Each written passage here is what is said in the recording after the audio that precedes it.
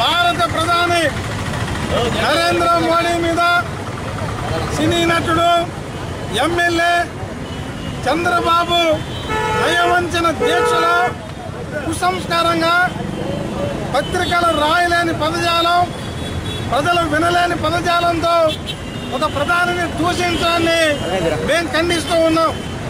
నిన్నటి రోజున సినీ నటుడు బాలకృష్ణ చంద్రబాబు నాయుడు ముఖ్యమంత్రి సమక్షంలో ఇంటెలిజెన్స్ అధికారులు పోలీసు ఉన్నతాధికారుల సమక్షంలో దండయాత్ర చేస్తాం.